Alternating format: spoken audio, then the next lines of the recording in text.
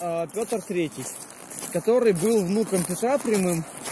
А, была у Петра дочка, то ли Анна, то ли Мария, ты не понимаешь, что ли? И она уехала в... а, Куда же она уехала? Короче, в немецкое княжество, находящееся под Данией, ну, южнее Дании, сейчас помню, как оно называется. Если в Дании, Дания на 17 веке на здесь не было. Ну, нет, А была, это была, была часть Швеции.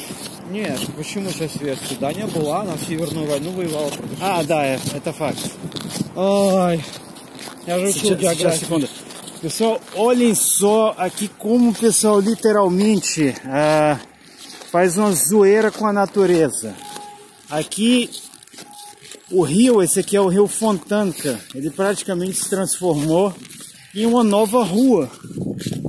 Aqui a negada vai, vem, passa por baixo da ponte, caminha, tem caboclo aqui que até corre, para vocês terem uma ideia. Escreve, claro, isso tudo aqui sobre o rio Fontanca.